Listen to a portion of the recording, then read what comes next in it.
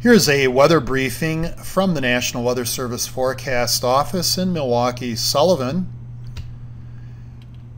For today and tonight, we are under a marginal risk of severe weather from Milwaukee over towards Madison and south to the Wisconsin-Illinois border.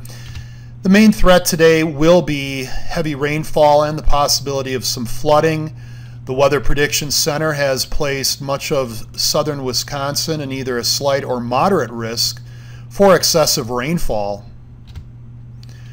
Thus far, we've received two to four inches of rainfall across portions of southern Wisconsin, mainly from around the Dells through Portage and Beaver Dam over towards Sheboygan.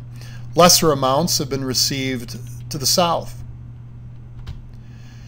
At this time, this is the expected rainfall across the state. As you can see, we are expecting a corridor of additional rainfall of one to three inches, which could lead to some flooding concerns across southern Wisconsin.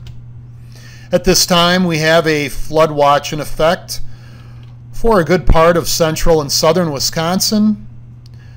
This will run today into this evening. The greatest threat is some localized flooding, primarily urban and small stream flooding. There is the possibility of a flash flood warning or two being issued. There's a small potential for some strong winds with some of the thunderstorms. We do appreciate your reports. You can reach out to us on Twitter or Facebook with any of your rainfall or flooding reports.